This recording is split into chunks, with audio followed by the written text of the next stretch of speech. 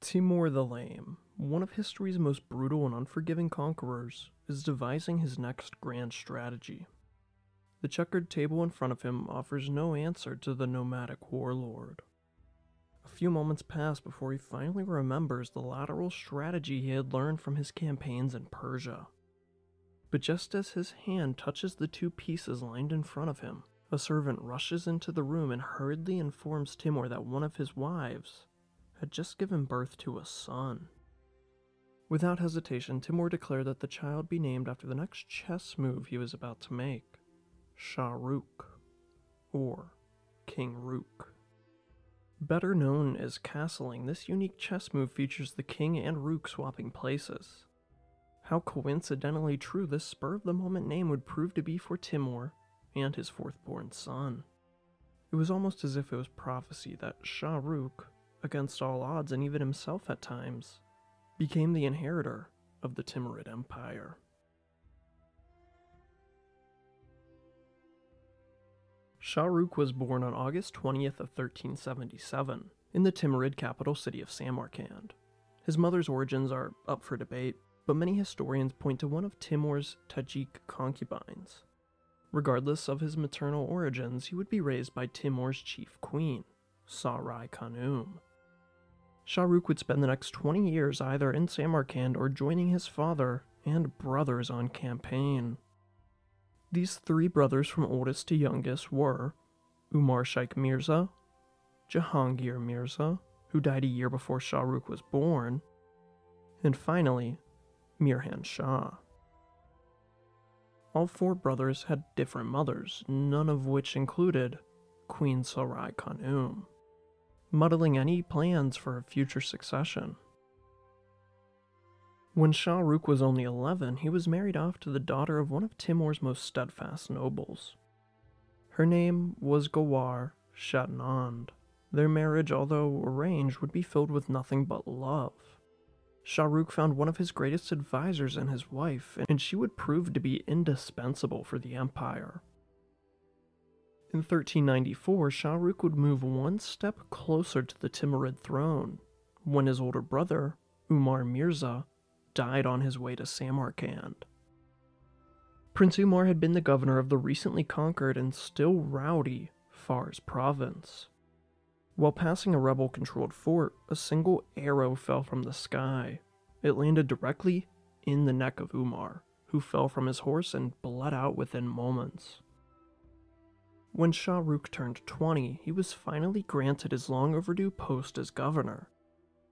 He would overwatch Khorasan, one of the most vital junctions in the empire, for it connected the steppe capital of Samarkand to the salty waves of the Caspian Sea.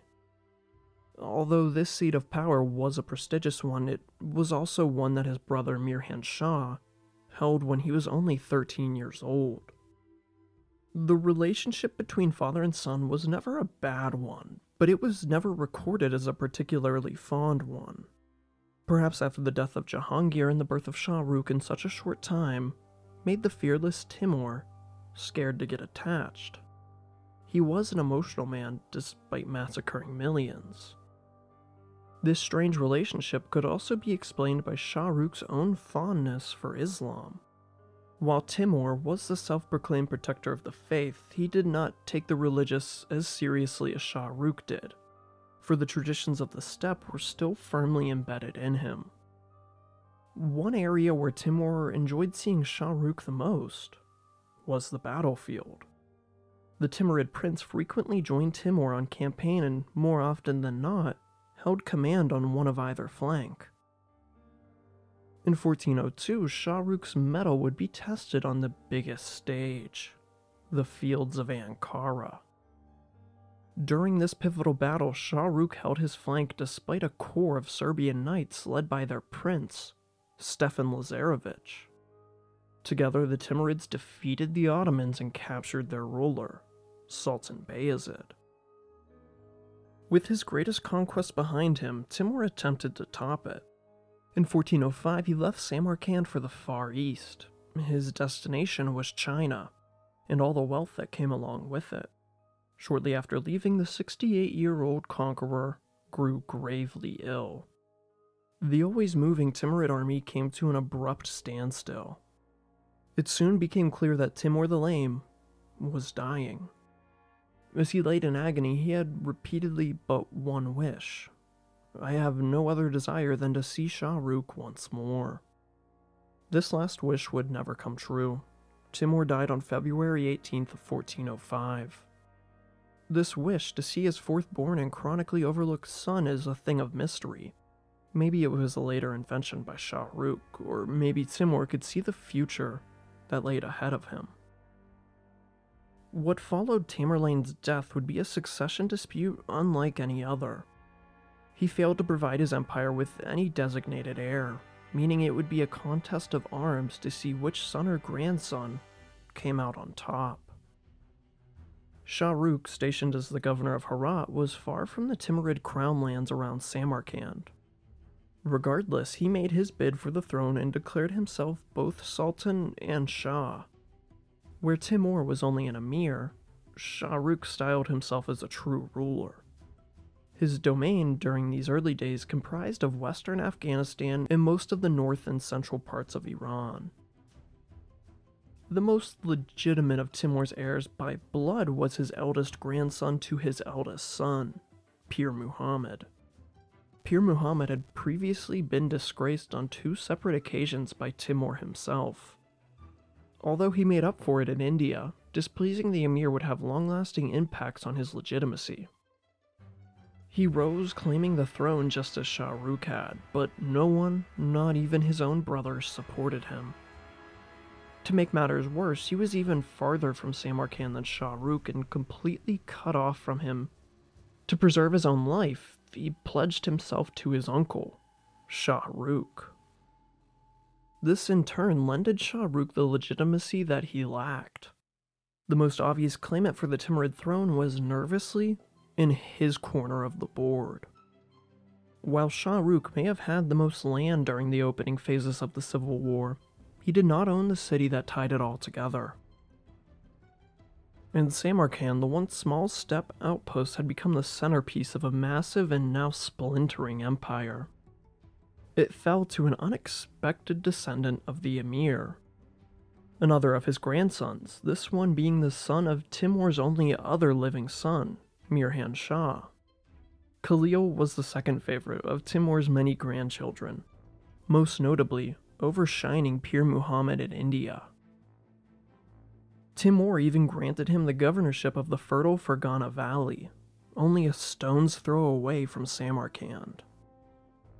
Upon learning of his grandfather's death, Khalil won the race to Samarkand and took the city without opposition. He declared himself Sultan Khalil. Hot on his heels was another experienced grandson of Timur. While all previously discussed grandchildren have been sons of Timur's sons, Hussein was a son of one of Timur's many daughters. He took 1,000 loyal followers and marched on Samarkand to press his unlikely claim on the throne. The now Sultan Khalil had barely won the race. Seeing that he had firm control over the city, Hussein pledged himself to his cousin's throne. While Khalil claimed the throne, his father was busy in his own corner of the Timurid Empire.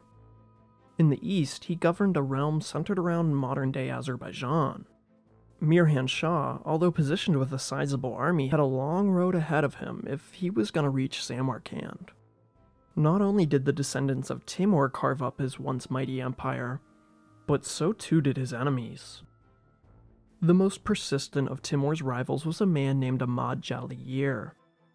Timur had conquered and reconquered his lands four times over before he finally gave up. But when Timur died, he decided to fair his chances with his descendants. When the Mamluk Sultan learned of Timur's demise, he sent Ahmad Jalayir along with another old Timurid rival, Kara Yusuf of the Black Sheep Turkoman, also known as the Kara Koyunlu. During Timur's initial invasion of Iran, Ahmad Jalayir and Kara Yusuf had allied against Tamerlane, to no avail. Although their countries no longer existed, their alliance remained active as they marched to reclaim. With the board set, it was time to play a game of thrones. Shahrukh, as his namesake might suggest, waited, patient and still to make his move. He didn't have Samarkand, but neither was Samarkand positioned to challenge him, especially since Miran Shah had failed to return from the east. Ahmad Jalayir and Kara Yusuf pushed deep into Mesopotamia and started taking Miran Shah's own lands in Azerbaijan. Now, in a two front war, he was forced to stay back and hold off the once conquered. While Ahmad Jalayir was no more than a pushover, Kara Yusuf this time around would prove to be all they both needed. In 1406, the Black Sheep Turkomans defeated a Timurid army led by another of Miran Shah's sons. This guaranteed the existence of a revived Jalirid and Karakoyunlu state. It also prevented any chance for Miran Shah to help his son in Samarkand. Negotiations between Shah Rukh and his nephew had been ongoing since Timur's death. So far, there had been no progress. Soon enough, Sultan Khalil invaded Shah Rukh's lands. Neither proved as competent on the battlefield as the man they were attempting to replace. No matter how long they campaigned against each other, there was never a conclusive engagement, and neither came close to besieging their opponent's stronghold. They would continue having on and off battles throughout their dual reign. In 1405, likely while Khalil was absent from Samarkand, another claimant to the Timurid throne attempted to seize the crown. Hussein, who had pledged his loyalty to Sultan Khalil in that same pivotal year. This would be stomped out in no time.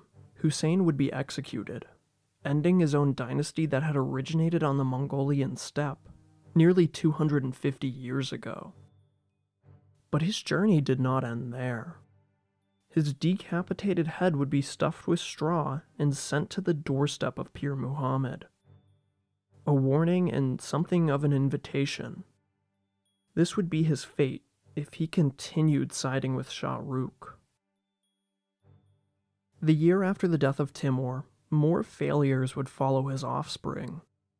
Sultan Khalil lost control over a large portion of land between the Aral and Caspian seas not to Shah Rukh, but to a tribal coalition of all things. If someone didn't unify the rest of the Timurid realm soon, then the many enemies of Timur would continue picking apart what remained of his empire. In 1407, Shah Rukh would have to deal with a similar problem. A rebellion had broken out in the city of Asterbad. This, unlike Sultan Khalil, was contained and put down. The leader of this rebellion fled to Pir Muhammad for shelter, likely persuading him to join his revolt. As a sign of loyalty, Pir sent the rebel to Shah Rukh. In the following year, Khalil's power would be further and drastically weakened. In the west, Kara Yusuf was continuously defeating Timurid garrisons with ease. To stem the Black Sheep wave, Miran Shah was still in the west. The decisive confrontation for control of western Persia would occur in 1408. At the Battle of Sardar, Kara Yusuf sent the son of Timur running in defeat. While Miran Shah did escape, he would soon be caught and executed by a subordinate of Kara Yusuf. His head would be placed on a spike and presented to the city of Tabriz. This induced the Timurid garrison to surrender, and after this, his head would be sent to his brother, Shah Rukh. With western Persia gone, a large portion of suitable farmland had went with it, leaving Samarkand particularly vulnerable. Soon after, a famine broke out in the city. Many died, and the ones unlucky enough to survive blamed Sultan Khalil for their suffering. Khalil's popularity started to tank in the capital and in the rest of his lands. While he had angered the common folk through their stomach, the nobility was furious with his wife. She had much influence over Khalil and began appointing members of the non noble class to high points in the court. With everyone at his throat, Sultan Khalil was left with little option other than to leave Samarkand and surrender to Shah Rukh. Shah Rukh marched unopposed to Samarkand and was welcomed into the city. He had won a civil war without fighting a decisive battle. As his name suggested, he waited patiently for his time to swap spots with the King Piece in a masterful move. Instead of executing his nephew and rival, Shah Rukh spared Khalil. He even named him as the governor of Ray, bordering Kara Yusuf, in a similar position his father was in just before his death. Shah Rukh then named his scholarly and multilingual eldest son as the governor of Samarkand and the Crown Lands, the infamous Ulugh Beg. While his story is a notable one, we will get to it after Shah Rukh's. As Khalil adopted the titles of Timur, Shah Rukh took the Islamic titles of Sultan and the Persian Padshah, even though the first part of his name means king in Persian. In this, Shah Rukh continued the long standing tradition where the people who conquer Iran suddenly become as Persianized as their subjects. It happened to practically all the steppe empires of Persia the Parthians, Mongols, and now the Timurids. After four years of war, Shah Rukh was finally at the head of a smaller, but much sturdier Timurid empire. But just as Shah Rukh had nursed the ailing empire back to health, one of his most important relatives and governors died Pir Muhammad.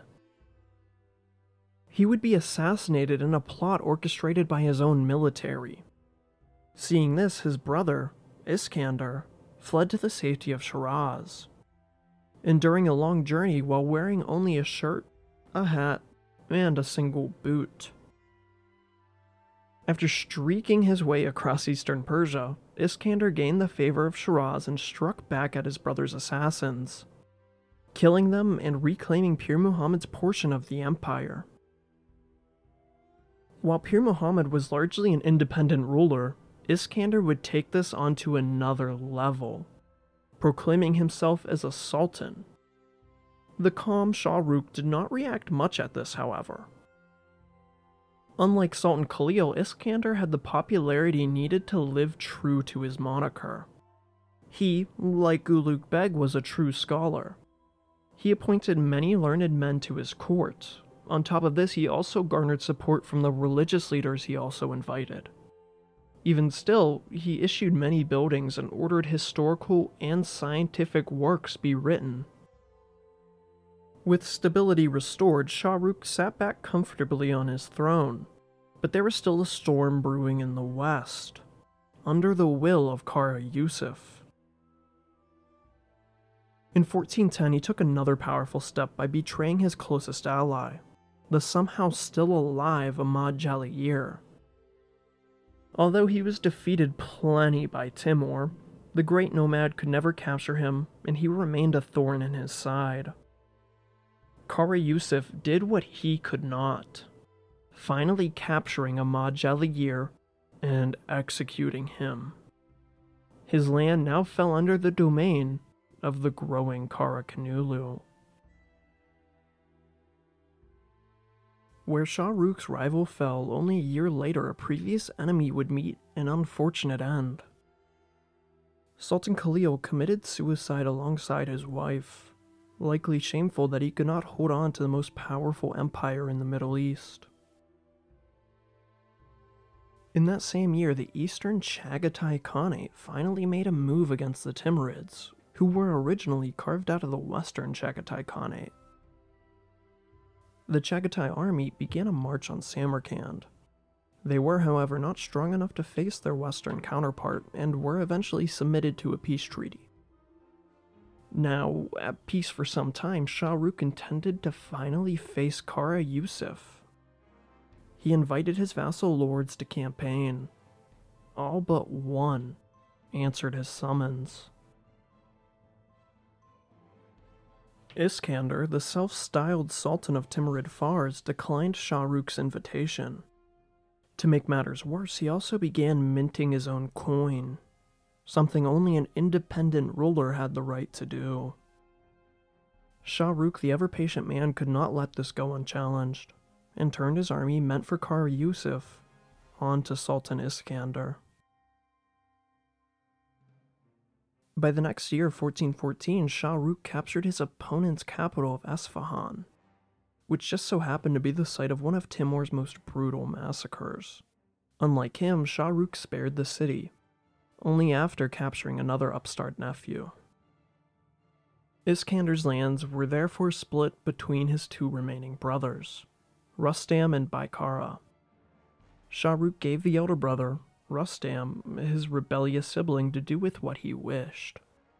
So he blinded him before handing him over to Baikara.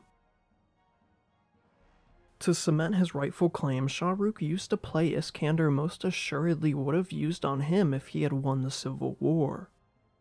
He ordered a detailed history be written about Iskander's rebellion, written by the victor.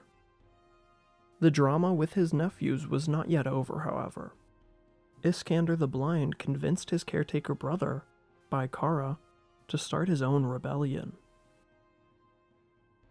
Shah Rukh ordered Rustam to march with him against another brother. He accepted and by December of 1415 Baikara surrendered. He was spared and exiled, but Iskander was nowhere to be seen. The blinded rebel had escaped and somehow managed to go some ways north before being discovered by a group of Turkish nomads.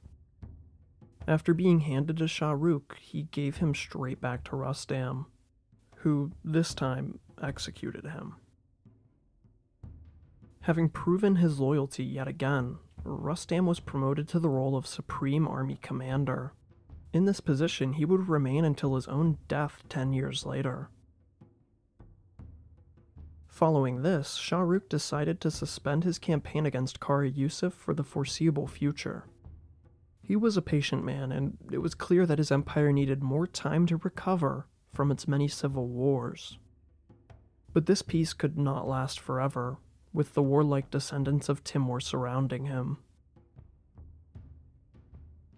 In 1418, the Gawar Shad Mosque was completed, built by and named after Shah Rukh's beloved wife. It's safe to say that it is a masterpiece, the inside being a kaleidoscope of geometric patterns and the outside sharing a Turkic Persian influence. A true representation of the Timurid dynasty. During these peaceful days, Shah Rukh set his focus on developing peaceful relations across Eurasia. The most notorious of these embassies left Samarkand in 1419, on its way to Beijing. Again, in contrast to Timur, Shah Rukh would see the Ming dynasty of China as an ally and valuable trading partner. After all, it was where the Silk Road started, a trade route that passed straight through Timurid lands. Shah Rukh entrusted his diplomat, Ghayath al-Din, with leading the envoy to China. Ghayath kept a road diary which survives today as a Marco Polo-like story. The caravan took the northern route along the Silk Road, passing through the homeland of their Turkic ancestors, picking up many merchants as they went. At the envoy's maximum, it reached 500 men. Once arriving in China, Ghayath mentions the Chinese Christians. He revels on this, knowing that the Christian domains lay far to the west. In 1420, the Timurid diplomat arrived in the brand new Ming capital of Beijing home to one of the most powerful rulers of China, the Yongle Emperor. After meeting the emperor and presenting him with many gifts, Yongle decided to let the diplomat stay in his court. During this time, they were under the care of a Turkish man who held an important advisory role. His competence as a linguist was something to behold, knowing Mongolian, Turkish, Arabic, as well as multiple Chinese dialects. The highlights of Ghayath's trip to China included impressive acrobatic performances almost daily, huge amounts of food at feasts fit to feed hundreds, as well as a tour of the many gardens sprinkled throughout the forbidden city of the Emperor. He also tells about China's booming economy and incredibly fast courier systems. Not only this, but he also gets a glimpse at the Yongle Emperor's darker side, watching as he committed men to a more brutal torture than Timur could ever think to commit death by a thousand cuts. After five well spent months in Beijing, relations were finally restored, and Ghayath departed to make his long journey home. He arrived in Samarkand in 1422, after more than three years of travel. With relations recovered with the Ming, let's take a wider look at the geopolitical position of the restored Timurid Empire.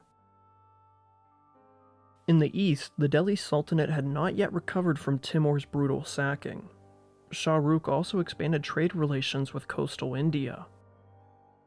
To the north, the Golden Horde was no longer a vassal, but still not much of a threat. The Chagatai Khanate, who had previously attacked the Timurids, was still held in a truce since then, and despite their proximity to Samarkand, they still presented a little threat to Shah Rukh. To the south, the Timurids had control of the Persian Gulf and a slice of Arabia through their vassal of Hormuz.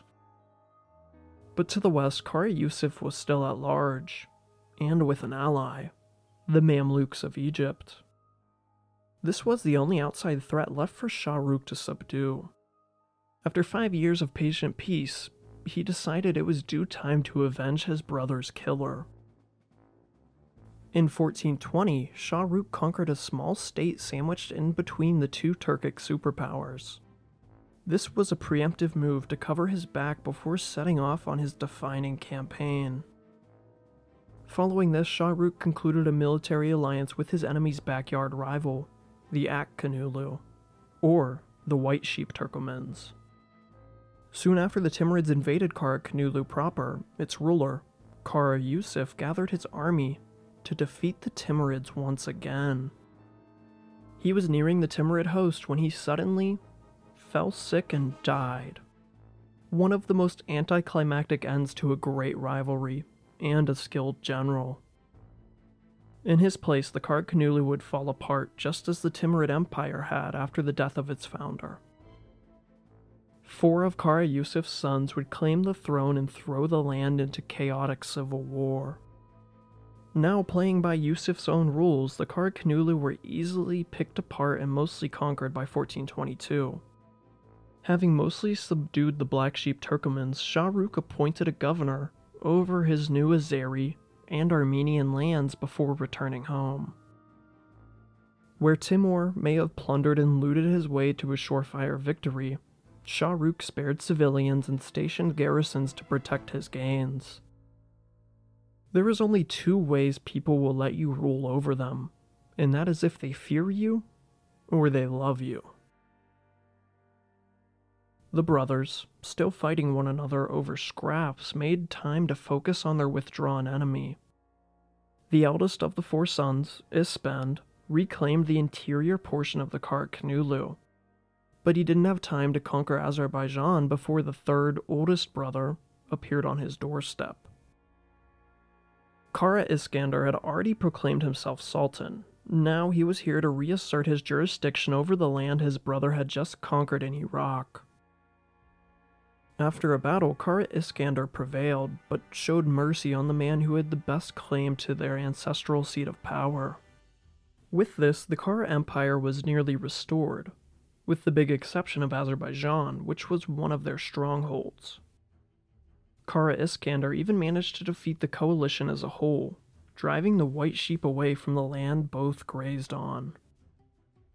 Despite having his army and several other Timurid hosts intact, Shah Rukh did not relaunch his invasion of the west, intent on holding Azerbaijan tightly. However, to the north, the disunited Golden Horde had unified under Barak Khan.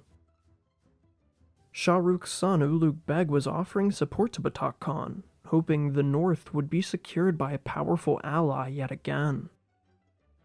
But just as Toktamish had, Barak Khan started reconquering Timurid lands, and even defeated Ulugh Beg in battle. And just like him, Barak was overthrown by a civil war within years. For now, the northern border was safe, made dangerous, it appears, by the dabbling of Ulugh Beg. In 1424, Rustam, Timur's loyal nephew, died. And just when they needed him, yet again a threat emerged from the Chagatai. Ulugh Beg himself defeated the opposing Khan. With that, he finally achieved the goal of protecting the shortest route to Samarkand. A religious movement started to overtake the empire. In order of Sufi Islam, Hurufism was threatening to destroy the Timurid Empire from within. In a story not so dissimilar from Jesus and the Roman Empire, Timur killed the founder of Hurufism, a theological scholar named Astarabadi, leaving the Hurufis as an anti state religion. Timur was so bloodthirsty, a whole Sufi sect became popular because of it. Shah Rukh, in what is becoming a theme, did nothing about it. Hurufism only grew further, and was even practiced by some of the many assorted scholars of Samarkand many of which were only there because Timur had burned their city to the ground. This wasn't a problem for Shah Rukh until it very suddenly became one. A man disguised in a shepherd's fur coat catches his first glimpse of Shah Rukh as he exits the mosque. He approaches him slowly, as if he was only passing by. Suddenly, he grabbed for his knife and lunged at Shah Rukh. This man's name was Ahmed Lur, a previous commander under the notorious Ahmad Jalayir. Even from the grave, the Jalayirid was attacking the Timurids. Shah Rukh attempted to defend himself but was stabbed two times before the royal guard could seize him. Shah Rukh recovered from his wounds in due time, but the attack had finally made the complacent Sultan act. After connecting a Lur to the Hurufis and the Jalayirids, it soon became clear that the Timurid enemies could use this religion as a unifying force. If it was Timur they were mad at, then Shah Rukh was gonna remind them what his half of the Prince of Destruction looked like. Shah Rukh began a purging of the Hurufis. Knowing it had become commonplace among his scholars, he ordered interrogations and exiled many of Islam's brightest minds. He even went as far as interrogating his artistically minded son. No, not Ulugh Beg, but the third born, Baisungar, who was just as capable an artist as his elder brother was a scientist. He was arrested and found not to have any involvement in Hurufism. After this, most Hurufis were forced to leave the empire. The Sufi order died out soon after, in the 15th century. Having purged his intellectuals, Shah Rukh ceased pressing the issue much farther. This was likely the cruelest thing Shah Rukh did during his reign, which is something to say considering his ancestry. Three years later, in 1429, Kara Iskander was becoming increasingly confident and began attacking the Timurids outright yet again. Shah Rukh gathered an army of over 100,000 men and sent it to deal with the Black Sheep. When the two armies clashed, it appeared that a long day of fighting was ahead of the survivors. And then, Iskander's youngest brother, Abu Sa'id, defected to the Timurid army mid battle, causing Iskander to quickly retreat all the way to the far west of his realm. His plans falling into place, Shah Rukh consolidated his role over much of Karakoyunlu, then handed it directly to Abu Sa'id, who would become his new pawn. And then Shah Rukh made the same mistake twice and concluded the campaign before capturing Sultan Iskander.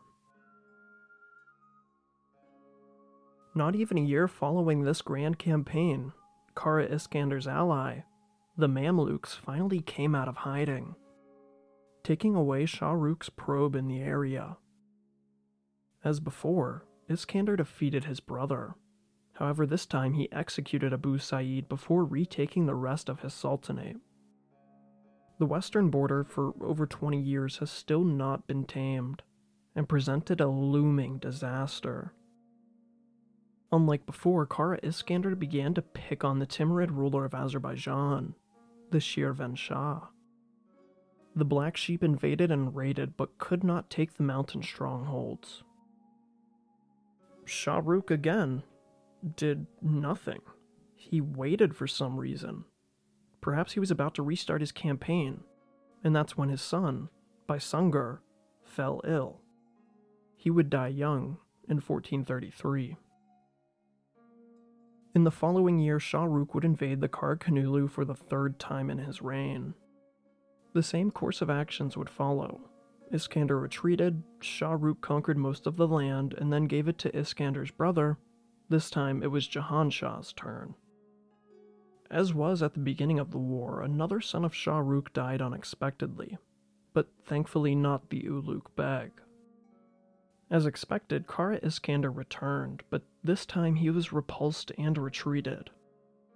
That's when an old enemy reared its head toward them, the Ak-Koyunlu. In exchange for helping the Timurids, the Ak-Koyunlu were promised protection from their Mamluk subjugators, as well as from their Black Sheep counterparts. An army led by one of Shahrukh's sons and Ak-Koyunlu ruler, Kara Yuluk, ambushed Kara Iskander and his dwindling number of followers. The long term and 79 year old Timurid ally was finally planning a lasting revenge on the Black Sheep Turkomans. However, his plans would be dashed as the surprised and outnumbered Kara Iskandar managed to push the coalition army away. Denying his own safety, Kara Yuluk charged himself and his bodyguard into the fray of the battle. He was after one thing the head of his rival. Unfortunately, he didn't get time before he himself was cut down. Kara Yuluk can be considered the founder of the Ak-Koyunlu state. His 57 year reign ensured the smooth transition from steppe tribe to a settled and well established society. The Ak-Koyunlu had only just begun. While Kara Yuluk was in his heroic last stand, Shahrukh's son made a run for it and safely made it back. At least three sons hadn't died after or before a battle with Kara Iskander. With nowhere left to fight, Iskander left his lands and made way to the Ottoman Empire, which had somehow managed to recover from the devastation and civil war left over from Timur's conquest. Sultan Murad II declined any invitation to support Kara Iskander, knowing better than to help a Timurid enemy after Ankara. He even denied him entrance into his empire. After a few days' rest, Iskander was on the road, a sultan without a sultanate. Eh? With what remained of his army, he returned to the Karakoyunlu, en route to slay another Timurid aligned brother. Outnumbered, he was defeated by his older brother, Jahan Shah. With nowhere left to go and a handful of loyal men behind him, Kara Iskander attempted to flee to Egypt, home to a once powerful empire. One night, seeing the delusional father become the Ahmad Jalayir of his day, Iskander's own son murdered him. After four campaigns, Shahrukh's armies had finally defeated their most dangerous neighbor, and in the process gained a bulwark of an alliance. During the long reign of Jahan Shah, the last of Kara Yusuf's children to hold power, he would expand the Karakoyunlu to its largest extent and enjoy a flicker of a golden age. In the life of Shahrukh, however, this would never be an issue. With no one left to defeat, Shahrukh did what he did best absolutely nothing. The Timurid Empire entered a golden age of peace. For ten whole years, Shahrukh would be the just ruler of a realm which never knew peace. Sure, the occasional rebellion popped up here and there, but this would be the safest the Timurid Empire would ever be. While Shahrukh wasn't the most militarily minded ruler, his strength was drawn from his lack of enemies.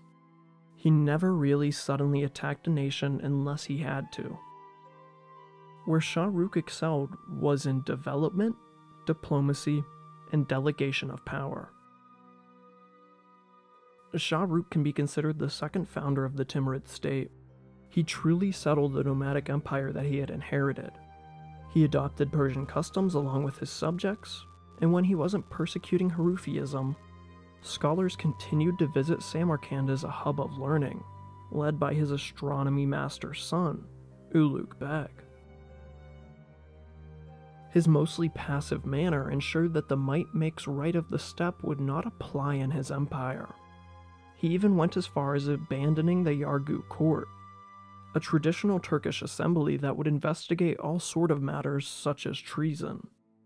Shahrukh calls this agency tyrannical and corrupted before dissolving it. In place of steppe tradition, Shah Rukh, who was said to be a devout Muslim, adopted more Sharia law, thereby matching the religion of the majority of his subjects. Shah Rukh was not so much a direct ruler, as he was a great appointer of competent people at the core of his empire. His sons were well learned, and some of them experienced generals.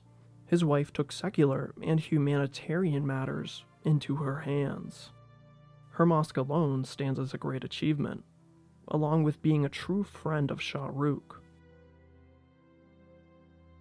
First was Ghiyath al-Din, who served as Shah Rukh's vizier for 30 years and after that became an advisor to a few of Shah Rukh's grandsons.